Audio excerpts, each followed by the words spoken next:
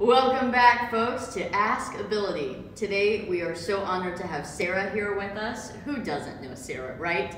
She has been a long lasting chiropractic influencer, and we are going to pick her brain today. Sarah, we find that it's a cakewalk most often to educate here in the office, but what are you doing outside of the office to spread the chiropractic message? Yeah, Mackenzie, that is a great question. I find that it's easiest to make it natural. I talk to my friends all the time, right? Just like you guys do. And normal conversations come up about allergies or stomach issues. Maybe their new infant hasn't been sleeping recently and they've never even thought about chiropractic care, never even crossed their minds. And you'd be surprised how many slips and falls that people just happen to mention in conversation. It's a great opportunity to tie in chiropractic and what it can do for them. So, would you say that you ever feel as though you're just spreading facts to somebody or that it seems ingenuine or that you're afraid to talk to strangers?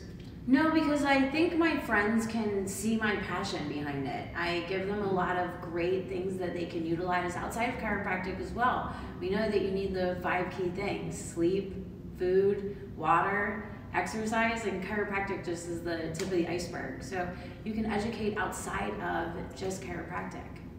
Wonderful. And I bet another thing that uh, all of us encounter is perhaps being a little timid, but that's the goal for the week as we have all of these faces displayed. None of them are publicly afraid to advocate for chiropractic.